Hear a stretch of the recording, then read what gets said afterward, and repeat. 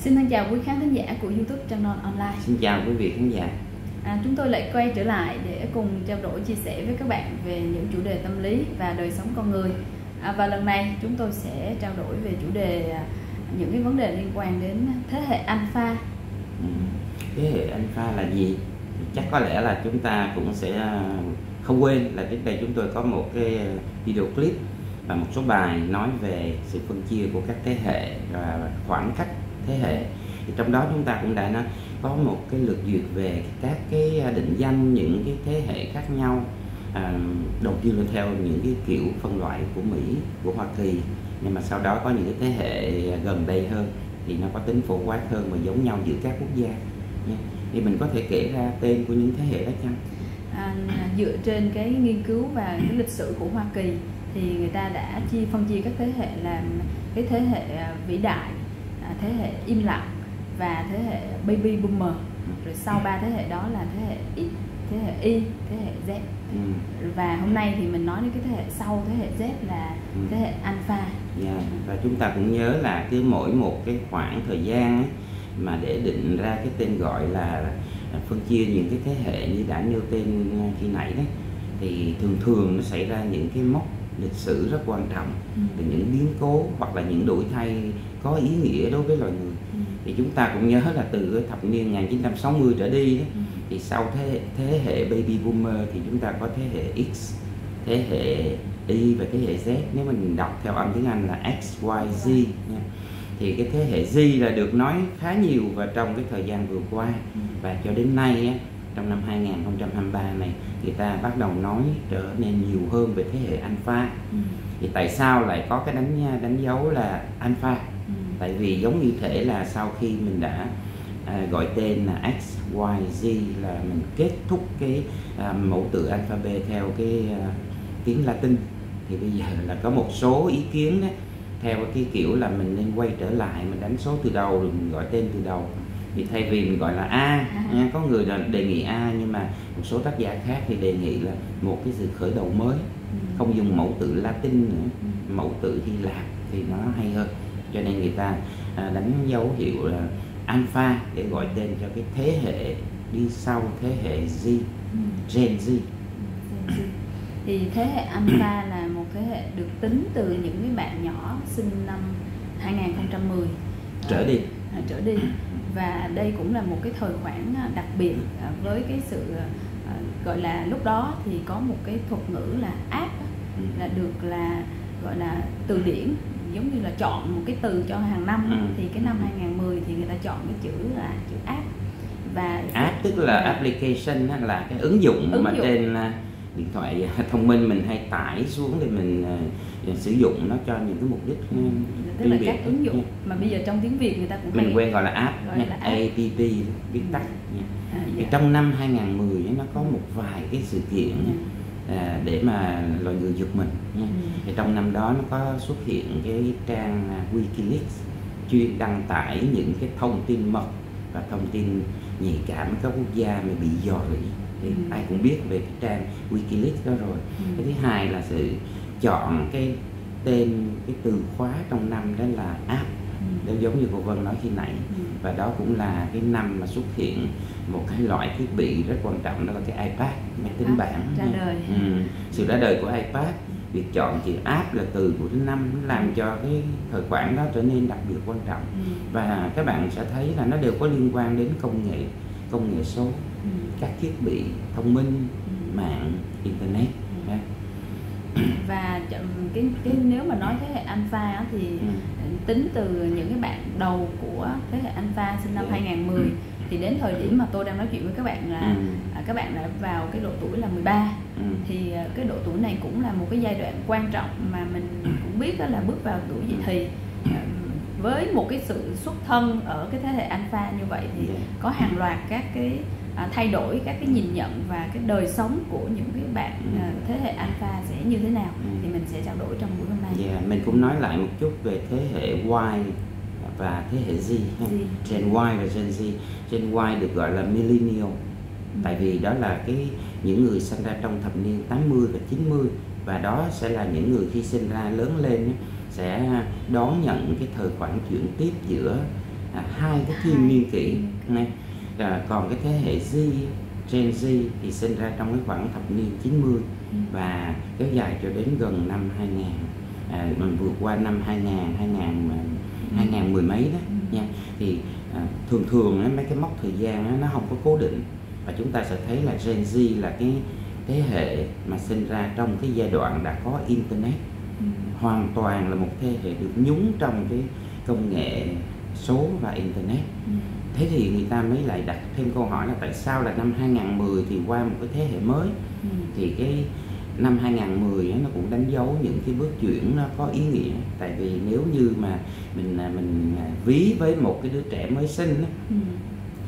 sau khi sinh nó, nó ra xong cái năm, đầu tiên nó thôi nôi tức là giống như đứa bé nó có thể sống tiếp với cuộc đời Ừ. thì loài người đi hết 10 năm đầu tiên của thế kỷ 21 giống như thể là loài người có thể sống tiếp trong thế kỷ 21 và Tồn cái việc được. đúng rồi Ừ.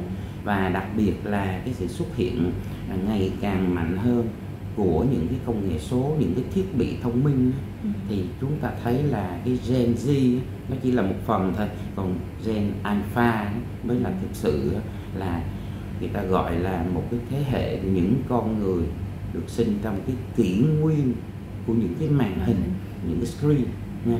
Và đặc biệt á, là tại sao hôm nay này, năm 2023 thì chúng ta nói nhiều về hơn về gen alpha Ừ. bởi vì là hồi nãy cô Vân có nói là năm nay những bạn đầu tiên của gen alpha đó được sinh vào năm 2010 thì năm nay họ sẽ bước vào tuổi 13 Ừ. tuổi vị thành niên Ừ. và gần đây nhất thì ta có một cái nghiên cứu trên rất đông cái số người trẻ trên thế giới Ừ. người ta đặt tên cho cái nghiên cứu đó, đó là Ừ. coming of age on screens Ừ. tức là cái kỷ nguyên của những màn hình nó đang đến Ừ.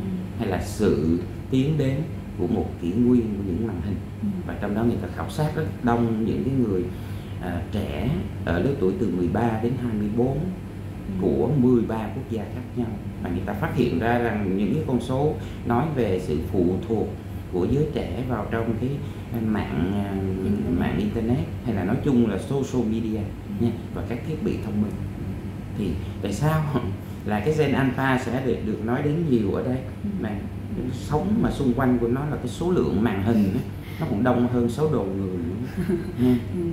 À, không biết là khi nhắc đến kỷ nguyên màn hình á, thì không làm cho các bạn có cái ấn tượng có cái suy nghĩ gì về về các, các cái màn hình hoặc là à, nói riêng cũng như là các máy móc nói chung Ừ. thì trong lịch sử phát triển của loài người thì các bạn cũng có thể từ từ mình nhớ lại là à, lần đầu tiên cái sự ra đời của một cái loại máy mà nó có thể làm thay đổi lịch sử của con người đó là cái máy hơi nước Ừ. và đó được đánh dấu là cái mốc là cái cách cuộc cách mạng công nghiệp lần thứ nhất à, rồi sau đó chúng ta trải qua à, bốn cái lần người ta gọi là các cái cuộc cách mạng công nghiệp Dạ. và cứ mỗi lần như vậy thì nó ra đời một cái loại máy Ừ. à, mà nó làm thay đổi cả cái con người luôn Ừ. ví dụ như là từ cái máy móc cho đến gần đây nhất là cái AI cái Ừ. à, gọi là internet xong rồi Trí đến tuệ cái nhân tạo. trí tuệ nhân tạo thì mỗi cái lần như vậy á, thì những cái máy đó nó làm thay đổi các cái tính chất quan hệ của con người cũng như là hầu như là toàn bộ các lĩnh vực và đời sống của con người và qua các cái cuộc cách mạng công nghiệp như vậy á, thì chúng ta con người người ta định hình trở lại là bắt đầu lại nghiên cứu trở lại là con người nên làm gì đây nên sống như thế nào đây rồi nên nhìn nhận về tương lai ra sao thì cái gần lần đây từ gần đây nhất mà khi mà thầy nói đến cái kỷ nguyên màn hình đó Ừ. thì em nhớ đến các cái hàng loạt các cái cuộc cách mạng công nghiệp như vậy và à, cái khái niệm cái màn hình đó mà đáng, đáng phải chú ý nhất á, Ừ. mà trong các gia đình nó có đó là cái tivi cái máy Dạ. truyền hình nhưng mà từ cái công nghệ analog nha, Ừ. chuyển sang công nghệ digital đó là một cái bước tiến lớn rồi. Ừ. và sau này là đủ thứ màn hình ừ, mà trong cái nghiên cứu hồi nãy mình nói á, thì cái những cái số liệu mà được đưa ra đó làm cho người ta giật mình ừ, trong số hơn á, hàng chục ngàn người trẻ được nghiên cứu ở trên 13 quốc gia thì có những cái câu hỏi được đặt ra và cái tỷ lệ cao á, nó nghiêng về cái chuyện là ừ, cảnh báo chúng ta là người trẻ lệ thuộc vào cái thiết bị thông minh nhiều hơn Ừ. nha. 70% người được hỏi để trả lời rằng chúng tôi là gần, gần như không thể tưởng tượng được cái cảnh là mình đi ra khỏi nhà Ừ. mà mình không có cầm theo cái smartphone ừ, rồi nó có một cái tỷ lệ rất cao cái số người là người trẻ đó, ở trong cái khoảng tuổi 13 đến 24 tuổi đã Ừ. sở hữu một cái smartphone ừ. tỷ lệ cao lắm tỷ lệ là trên 81% là có smartphone ừ. trên 90% là có sở hữu một cái computer và cái con số những cái tỷ lệ mà cao về lệ thuộc như vậy ở đất nước Brazil người ta ghi nhận là nó cao nhất trong ừ. số 13 quốc gia khảo sát ừ. À, và nó có một cái khái niệm mà à, giống như thể là khi mà thầy nói là con người không thể nào mà đi ra ngoài mình không thể nào mình quên cái điện thoại là thấy khó chịu rồi gần như là bây giờ nếu mà à, chưa xét đến cái Gen, Gen Z hoặc ừ. là alpha thì cái cái độ tuổi ví dụ như như em khoảng ba mấy bốn mươi hoặc là X và Y dạ, X Y thì cái chuyện mà chúng ta gần như là cái điện thoại nó luôn luôn ở bên mình đó. Ừ. nó là một cái hình ảnh rất là quen thuộc rồi và bây giờ mình đi làm đi chơi đi ra ngoài đi đâu á thì cái điện thoại có thể nói là xem là một cái vật bất ly thân ừ. nếu mà bây giờ chúng ta phải đi đâu đó. Dạ. à, thì em cũng nghĩ đến cái chuyện là ừ, người ta người ta có cái khái niệm là uh, cyber cyber cyber ừ. được ghép từ cyber và organism organism organism thì nó ra một cái thuật ngữ mới mà nó nói lên cái tính chất là con người gần như không thể nào tách ra khỏi máy móc nói chung thôi thầy ha ừ. đó là một cái quá trình mà con người phải gắn với một cái thiết bị công nghệ hoặc là máy móc yeah. nha mình không gọi đó là người máy không yeah. gọi là người máy vì người máy là robot yeah. nha. ở đây là một cái hệ người đó là một cái sinh thể organism nha và cái một cái hệ sử dụng mạng là cyber nha mà có thể thông qua máy hoặc là bằng cách nào đó dính với mạng ừ. nha. thì cái cách mà mình hình dung về một cái cyborg tức là một cái cyber organism ừ. thì nó là một cái hệ một sinh thể một con người đang sống ừ. mà phải lệ thuộc và gắn bó với một mạng thông tin nha ừ.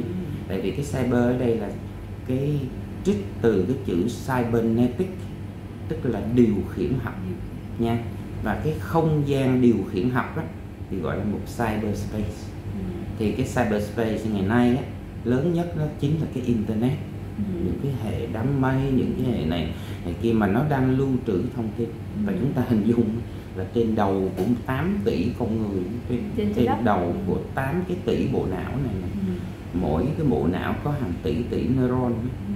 thì trên cái hệ 8 tỷ đó nó lại có một cái bộ não khổng lồ ừ. đó chính là cái cyberspace cái không gian điều khiển chứa đựng thông tin ừ. à, mà chúng ta có thể vào trong đó để truy cập để lấy xuống ừ.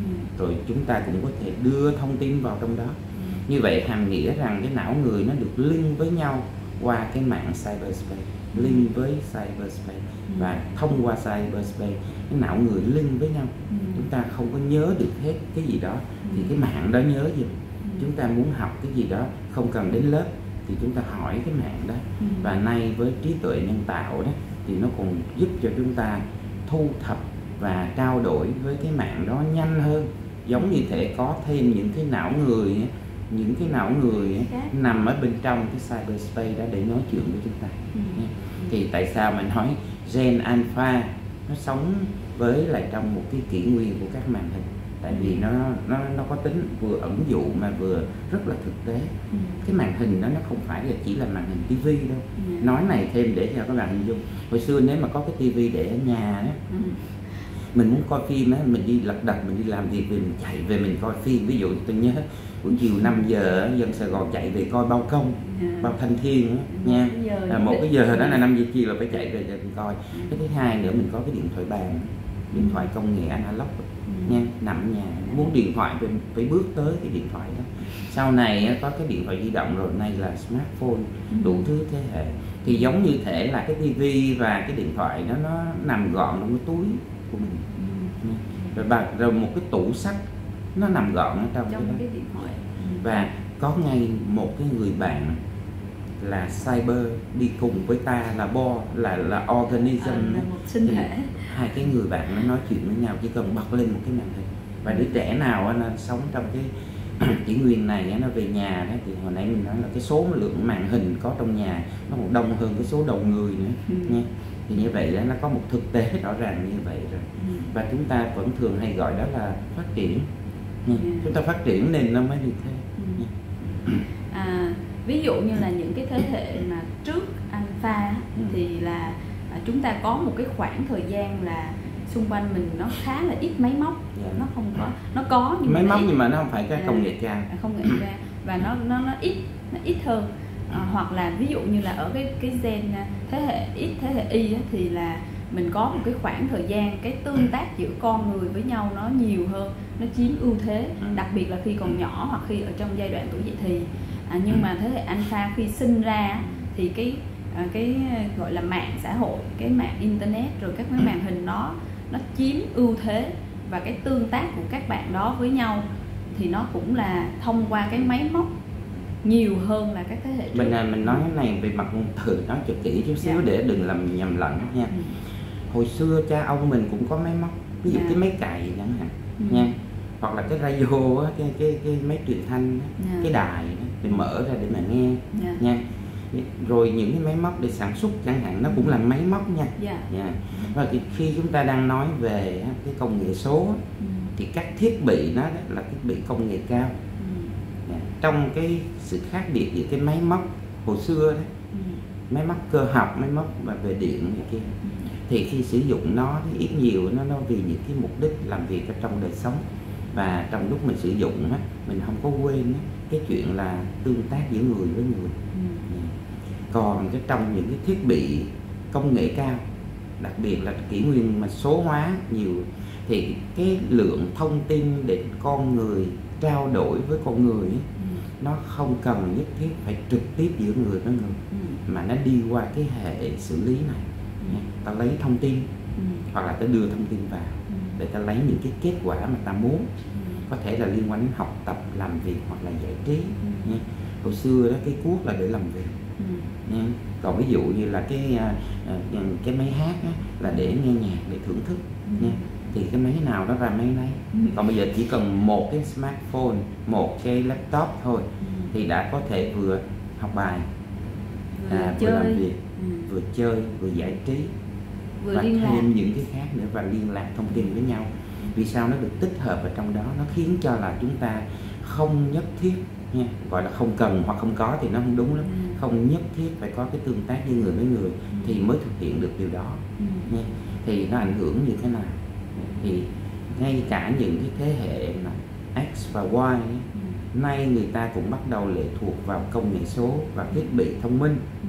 nhưng mà những thế hệ đó ít nhiều có một cái tuổi thơ và tuổi vị thành niên ấy, đi qua ấy, mà ít có cái sử dụng cái thiết bị này. Bởi vì cha mẹ của họ ấy, thuộc về các thế hệ trên nữa Ừ. và vào cái thời điểm vào cái thời kỳ trước thập niên 90 ấy, Ừ. thì những ai làm cha mẹ ở cái thời kỳ từ 80 trở về trước ấy, Ừ. người ta sẽ nói chuyện với con không có cần nhất thiết phải qua smartphone Ừ. họ có thể mua cho con những đồ chơi Ừ. nó khác với lại cái iPad Ừ. nha còn ví dụ như là tại sao ta nói về Gen Z và Gen Alpha nó có đặc biệt cái gì chính cha mẹ của Gen Z và Gen Alpha nó cũng phải chạy theo cái việc sử dụng công nghệ số cho công việc và đời sống của họ. Và thế hệ Gen Z và Gen Alpha gần như bị nhúng trong cái cảnh là nó tiếp xúc với màn hình dễ dàng và thường xuyên hơn nha. Thì ở đây mình phải nhân đó nhắc lại cái khái niệm về social capital. Social capital có hai cách dịch. Người thì dịch là tài nguyên xã hội người thì dịch là tư bản xã hội hoặc cái nguồn vốn mà một người lấy ra từ cái quá trình tương tác giữa người đó với lại người khác ở trong tiến trình lớn lên Ừ.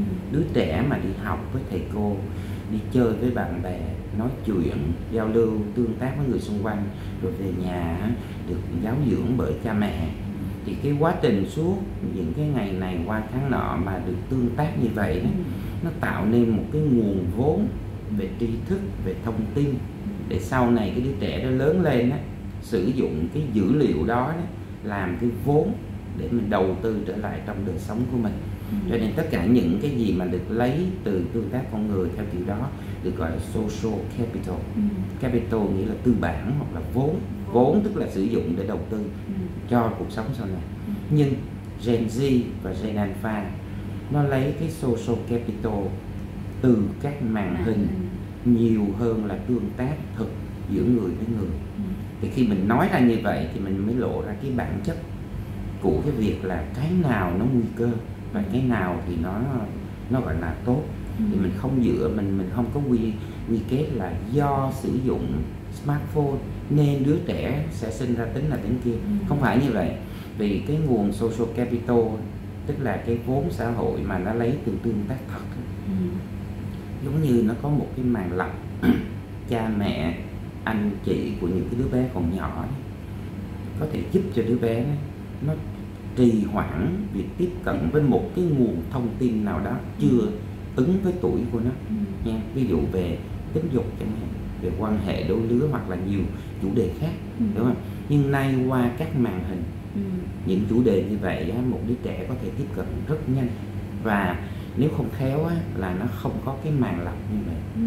đừng có nói ở đây là cha mẹ hãy để cho con tự do lớn nha cha mẹ có một vai trò nhất định nha. gia, gia đình là một cái màn bọc quan trọng nha thiếu cái đó đó chưa chắc đứa bé phát triển tốt đâu Dạ. cho nên nếu mà mình nói về giáo dục trẻ nhỏ đó, mình đừng có bỏ quên cái giai đoạn cái cái giai đoạn mà gọi là à, có một cái màn lọc để đứa bé tiếp cận đến cái nguồn vốn xã hội Ừ. nha thì cái kỷ nguyên của những màn hình làm cho đứa bé nó tiếp cận rất nhanh Ừ. và đây là chỗ mà các nhà kinh tế hoặc là những cái nhà đầu tư những cái người mà bán hàng người ta khai thác trong quảng cáo Ừ. tại vì quảng cáo nó sẽ đập vào mắt rất là nhanh thậm chí là đứa bé mới có một tuổi thôi nó đã theo say sưa coi quảng cáo Ừ. tại sao vậy tại vì nó rất hấp dẫn Ừ. và nó đến rất nhanh 30 giây hoặc là một phút Ừ. là nó đứa bé đó nó sẽ có một ấn tượng về một cái nhãn hiệu.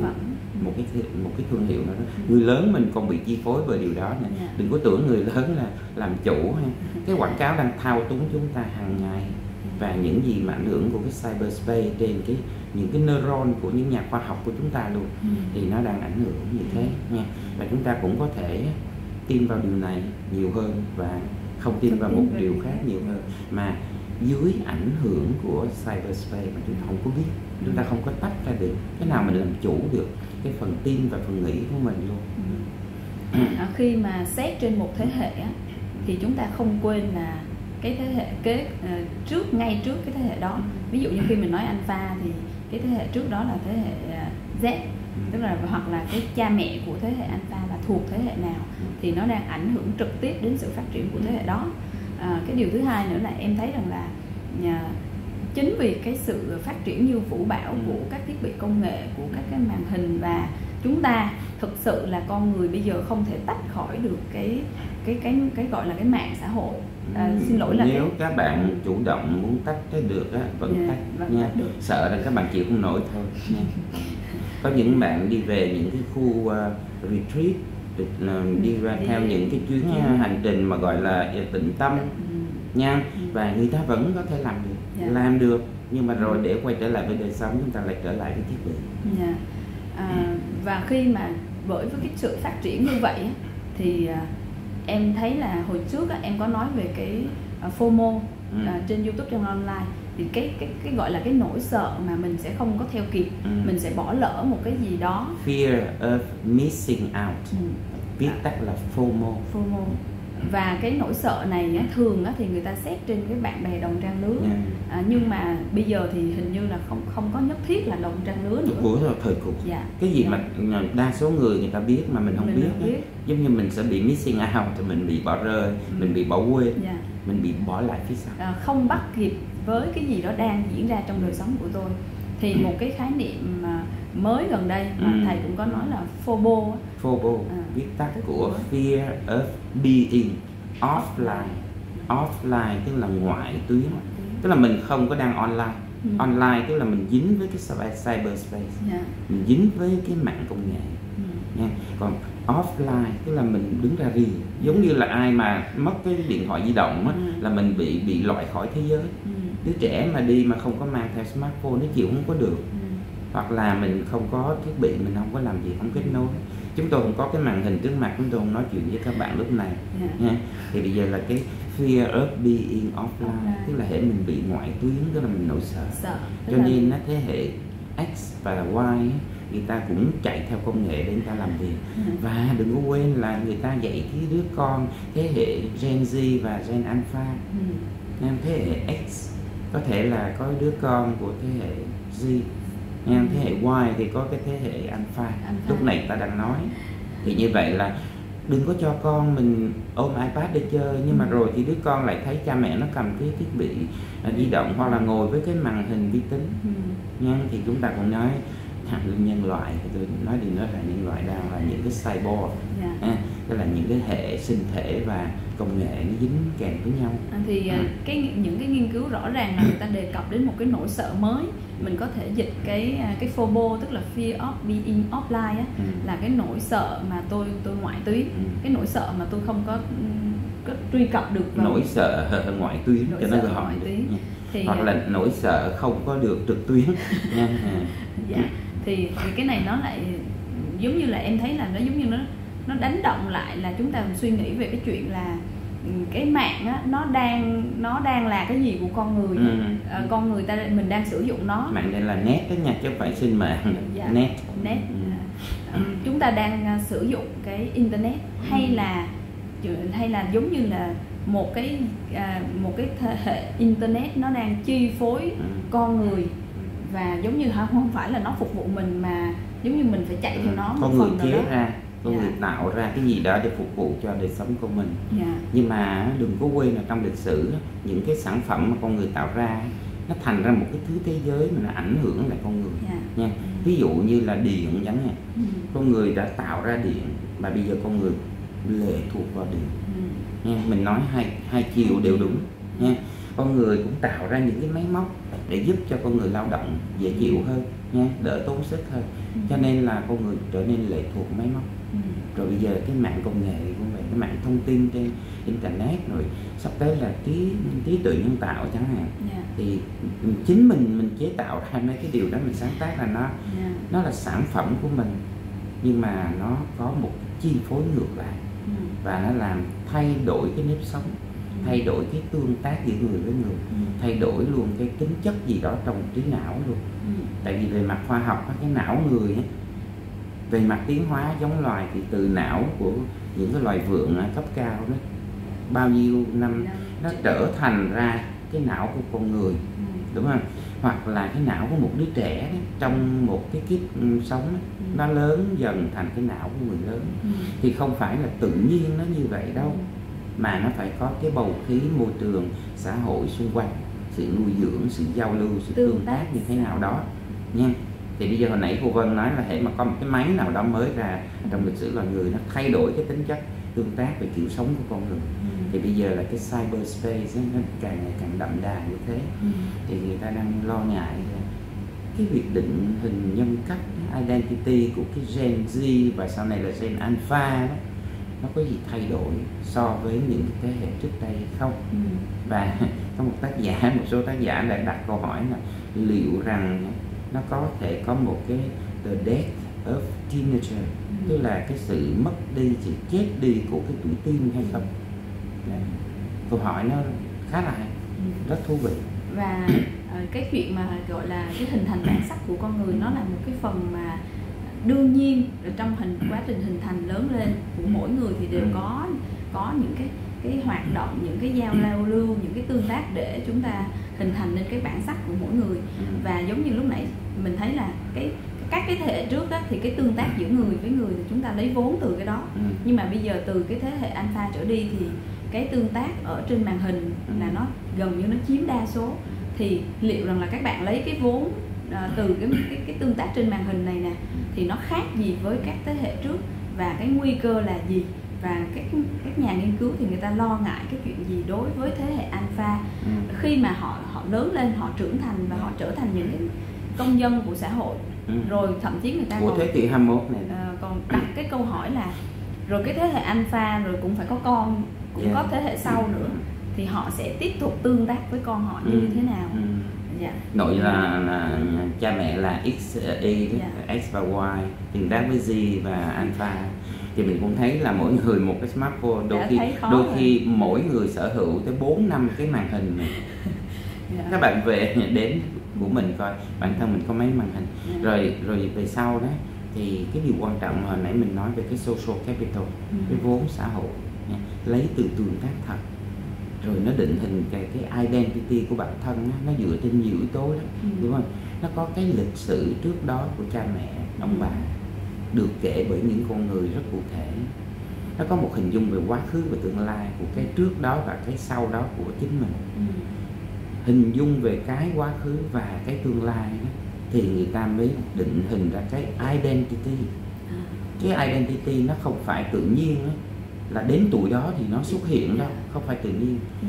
à, tại vì self identity tức là bản thân mỗi người đó, cũng phải hình dung về chính mình trong cái gọi là có ai đó xung quanh và có cái thời khoảng trước và sau Ừ.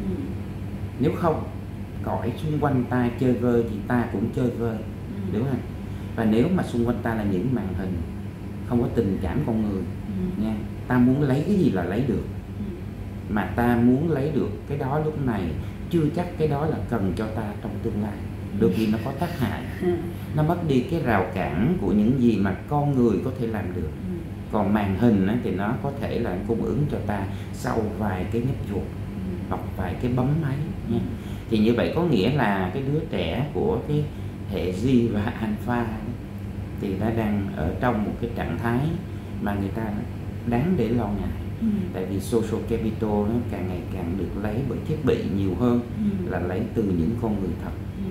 ý niệm về không gian thời gian á, nó sẽ ra sao thì thế giới nó phẳng lì như cái màn hình Ừ. và những cái gì mà của xa xưa hay là của một nơi nào khác ở lúc này đều có thể được lấy nhanh như nhau Ừ. nó khác với là câu chuyện của ông cha hồi hồi trước Ừ. mà kể cho mình nghe đó mình phải mất một cái khoảng thời gian để hiểu hay là mình có một ý niệm gì đó về chính mình của lúc này đó mình cũng phải qua tương tác với ai đó xung quanh và đặc biệt quan trọng là cái identity của tuổi teen đó.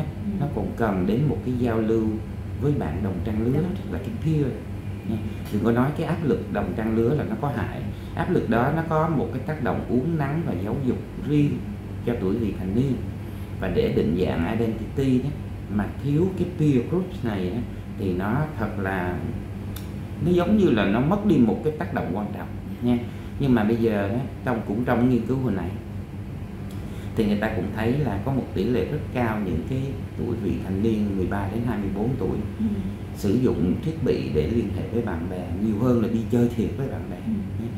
tất nhiên mấy nhà giáo thì cũng hay sợ tuổi teen nó đi chơi với nhau này kia đúng không nhưng mà đừng có quên nó là cái áp lực đồng trang lứa này nó đang có lợi Ừ. cho định dạng bản thân nó tại vì cái boundary của gia đình đến một hồi nào đó cũng nới lỏng cho nó đi ra ngoài Ừ. nha trước màn hình thì trong hay ngoài đều bị xóa nhỏ Ừ. trước màn hình với vài cái nhấp chuột một thông tin xa xưa Ừ. cũng trở nên gần gũi ngay lúc này Dạ. nha cái gì đó mà định dạng ta trong không gian về thời gian ta với ai khác ta với gia đình ta với đồng đồng bạn Ừ. thì nó trở nên nó không còn khác biệt nhau nhiều và tác động của quảng cáo qua các màn hình nó làm cho cái giới trẻ này trở nên nó là trở nên bị chi phối bị thao túng nếu mà đúng nghĩa cái chữ thao túng Dạ. mà các chuyên gia hay sử dụng nha thì Ừ. chúng ta đặt câu hỏi là cái self identity của cái tuổi teen trong tương lai nó Ừ. sẽ bị ảnh hưởng như thế nào nha và có khi là cái chết của tuổi vị thành niên nó có xảy ra hay không hiểu theo nghĩa đen lẫn nghĩa bóng Dạ. tức là cái giai đoạn vị thành niên từ hai cái buổi hôm trước mình nói Stanley Hall hồi đầu thế kỷ 20 ông viết cái cuốn sách Adolescence ông làm cho người ta giật mình là giữa cái tuổi người lớn với tuổi trẻ em có cái giai đoạn vị thành niên Ừ. và bao nhiêu thế hệ vừa qua đó người ta yêu cầu người vị thành niên phải học và nó choáng một cái thời lượng rất là dài để là từ 10, 11 tuổi cho đến 24, 25 tuổi nó mới kết thúc vị thành niên đúng không thì mất hết một thế kỷ để nó ra đời cái tuổi vị thành niên Ừ. tại bây giờ đầu thế kỷ 21 mới hơn có hai mươi mấy năm người ta đang hỏi là Ừ. có khi nào trong tương lai loài người không không còn cái tuổi vị thành niên bị, nữa hay không bởi vì cái vị thành niên về mặt tâm trí Ừ. nó có thể bị xóa nhòa. Nó giống như thể là có một liên thông ngay từ đứa bé nó chạy lên tới người lớn. Và ngay cả cha mẹ lẫn con cái đều giống nhau ở chỗ là đều cầm một cái màn hình. Ừ. và đều có thể nói chuyện với ai đó qua cái màn hình. Ừ. Thì Đều có thể là hơi nguy hiểm khi mà mình đặt vấn đề theo kiểu vậy và khi mà khi mà nhìn nhận sự việc có một cái tính liên quan đến cái xã hội cái sự Ừ. phát triển của loài người á thì mình thấy cái chuyện mà con người ta sử dụng máy móc cũng như là trẻ nhỏ sử dụng máy móc á nó không còn là cái câu chuyện là à thôi làm thế nào để cho con à, bớt sử dụng máy tính ừ. à, đừng có phụ thuộc vào điện thoại để giúp cho con ra ngoài chơi thì em thấy là cái nỗ lực đó nó không phải là xấu nó cũng tốt thôi à, nhưng mà liệu rằng là khi mà mình đặt trong một cái bối cảnh rộng hơn á cha mẹ cũng đang cầm một cái máy để làm việc để giao lưu để kết bạn để à, thực hiện rất nhiều công việc và lẫn vui chơi giải trí trên cái máy và cái đứa trẻ nó sinh ra trong cái bầu khí đó thôi Ừ. mới nói là cái cái vòng đó thôi Dạ. thì đã thấy rằng là một cái ấn tượng và một cái độ hấp dẫn đối với cái đứa trẻ nó như thế nào nhưng mà con người khi mà các bậc phụ huynh các nhà giáo dục cũng lo ngại và cái lo ngại này em thấy cũng chính đáng Ừ. rằng là bây giờ sao nó sử dụng cái máy không à nó suốt Ừ. ngày nó cầm điện thoại đó thì à, khi mà mình ráp nối với cái chuyện lịch sử phát triển của loài người các cái thế hệ thì mình thấy nó không phải là cái câu chuyện để mà để mà tác động lên cái đứa trẻ về giáo dục và nó có- không suy nghĩ theo kiểu tuyến tính Dạ. là có hay không dạ. nha Dạ. thì trước đây trong một cái bài mà à, tôi có phổ biến trong cái hội thảo ở trên đồng nai Ừ. và có giới thiệu với các bạn trên à, blog Rano online Ừ. là cái cái tuổi vị thành niên trong một cái thế giới thông tin Ừ. trong cái xã hội mà thông tin rất quan trọng Ừ. thì à, có những cái nghiên cứu của các tổ chức thế giới người ta vẫn khuyến nghị là cha mẹ cũng nên học để hiểu những cái công nghệ như thế này Ừ. nha.